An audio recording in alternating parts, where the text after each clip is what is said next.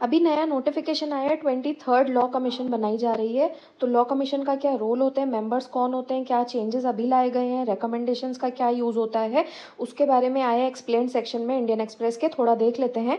तो अभी इसका नोटिफिकेशन आया ट्वेंटी थर्ड लॉ कमीशन रहेगी, जिसका तीन साल का टर्म रहेगा।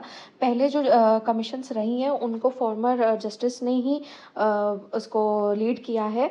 और लॉ कमीशन एक नॉन स्टेचुटरी कमीशन होती है, यानी कि नॉन स्टेचुटरी का मतलब मतलब कि उसको किसी लॉ के द्वारा नहीं बनाया जाता है और इसको union ministry of law and justice बनाती है थ्रू अ गैजेट नोटिफिकेशन और ये काय के लिए होती है? जो गवर्नमेंट की फंक्शनिंग होती है, उसको रिव्यू करने के लिए कि कौन से लॉज अब पुराने हो गए हैं, किनको रिपील कर देना चाहिए, नया क्या लॉ होना चाहिए, इन सब के ऊपर रिकमेंडेशन देते हैं. यूजुअली इसको जज चेयर जो करते थे, वो रिटायर्ड जज करते थे सुप्रीम कोर्ट या हाई कोर्ट के, और इसके मेंबर्स लीगल स्कॉलर्स होते थे. लेकिन अब इस बार जो नोटिफिकेशन आया, इसमें खास बात यह है कि सर्विंग जज भी अपॉइंट किए जा सकते सकते हैं। ठीक है? अब पिछली जो लॉ कमीशन आई हैं, बाईस लॉ कमीशन इंडिपेंडेंस के बाद से अभी तक याद रखना ट्वेंटी टू आ चुकी हैं, जिन्होंने two eighty nine report submit करी हैं। लेकिन अब इनकी क्या रिकमेंडेशंस कोई ऑब्लिगेटरी होती हैं गवर्नमेंट के ऊपर? तो नहीं होती हैं। वो चाहे तो एक्सेप्ट करें, चाहे तो एक्सेप्ट ना करें ओके और, लेकिन कुछ रिकमेंडेशन ऐसी आई हैं, जिनकी वजह से काफ़ी इंपॉर्टेंट लॉज आए हैं। जैसे C R P C nineteen seventy three आया था, फिर आर टी ई एक्ट जो आया है चिल्ड्रंस एजुकेशन के ऊपर, वो भी लॉ कमीशन के रिकमेंडेशन से ही आया है। इस बार के नोटिफिकेशन में क्या खास है देख लेते हैं। तो इस बार कहा गया है कि पैनल में एक फुल टाइम चेयरपर्सन रहेगा, चार फुल टाइम मेंबर रहेंगे और मेंबर सेक्रेटरी रहेगा। ये इनके फुल टाइम रहेंगे। और इसके अलावा पार्ट टाइम मेंबर्स पाँच से ज़्यादा नहीं होने चाहिए और साथ में लीगल अफेयर और लेजिस्लेटिव डिपार्टमेंट के सेक्रेटरी एक्स ऑफिशियल रहेंगे। खास बात आपको यही याद रखनी है कि चेयरपर्सन चार मेंबर्स और उन्हीं चार मेंबर्स में से एक मेंबर सेक्रेटरी होगा ओके और टर्म जैसे बताया, तीन साल का तो 2027 तक का रहेगा। और चेयरपर्सन और फोर जो फुल टाइम मेंबर्स हैं, वो सर्विंग सुप्रीम कोर्ट या हाई कोर्ट के जजेस भी हो सकते हैं, या फिर अदर कैटेगरी ऑफ़ पर्सनस तो इस बार इन्होंने ये लिखा है अदर कैटेगरी ऑफ़ पर्सनस जो कि कोई भी एक्सपर्ट हो सकता है, जिसको गवर्नमेंट चूज़ करे ओके अगर मान लो कोई सर्विंग जज को अगर आप अपॉइंट कर देते हो तो क्या उसको दोनों की सैलरी मिलेगी? नहीं, ऐसा नहीं है, उसको अपनी यूजुअल जो जज की सैलरी है, वही मिलेगी। और साथ में अगर उनको अपॉइंट कर लिया जाता है तो उनका टर्म केवल उनके रिटायरमेंट तक का रहेगा या फिर जब पैनल एक्सपायरी होगा, जो भी पहले होगा, उतना तब तक का ही उनका टर्म रहेगा।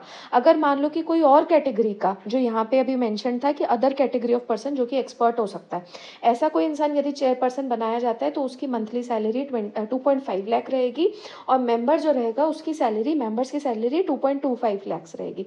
इसमें जो मेंबर सेक्रेटरी रहेगा, वो एक इंडियन लीगल सर्विस का ऑफिसर होना चाहिए और जिसकी रैंक सेक्रेटरी वाली हो। अब देखिए कि नॉर्मली टर्म्स रेफरेंस के क्या दिए जाते हैं तो अभी कुछ टाइम से यही दिए जा रहे हैं कि जो ऑप्सलीट लॉज हैं, जिनकी ज़रूरत नहीं है, उनको हटाओ। एक स्टैंडर्ड ऑपरेटिंग प्रोसीजर बनाओ ताकि, है ना, जो एग्जिस्टिंग लॉज है, उनका पीरियोडिक रिव्यू हो, उनकी लैंग्वेज वगैरह को सिंप्लीफाई किया जा सके। और साथ में ये देखो कि जो लॉज हैं, क्या वो इकोनॉमिक नीड्स जो है हमारी कंट्री के, उसके साथ में हारमनी में है या नहीं है? इसके अलावा एक और चीज़ अभी तीन दो कमीशन के टाइम से दी जा रही है कि आप डीपीएसपी के अकॉर्डिंग लॉज को एग्जामाइन करो। ओके? और इसीलिए जो अभी लास्ट मंथ बात भी की गई है फिर से इंडिपेंडेंस डे के टाइम पे सिक्यूलर सिविल कोड की तो वो डीपीएसपी को ही रिफ्लेक्ट करता है। आ, बता सकते हैं कौन सा डीपीएसपी है जो कि कहता है आ, कि सिटीजन्स के लिए एक यूनिफॉर्म सिविल कोड होना चाहिए ओके? और इसके अलावा एक और टर्म दिया गया है जो इस बार के लिए मैंडेटरी है वो ये है कि ऐसे लॉज को एग्जामाइन करो जो कि पुअर्स को अफेक्ट करते हैं और साथ में सोशो इकोनॉमिक जो लेजिस्लेशन है उसका भी ऑडिट करो एंड जुडिशियल एडमिनिस्ट्रेशन को रिव्यू करो।